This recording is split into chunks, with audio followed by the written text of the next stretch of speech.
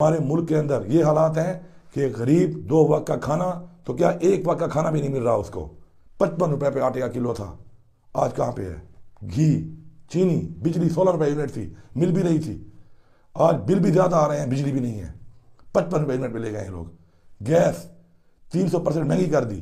مل بھی نہیں رہی، لیکن بل پھر بھی چار گنا، پانچ گنا آ رہے ہیں۔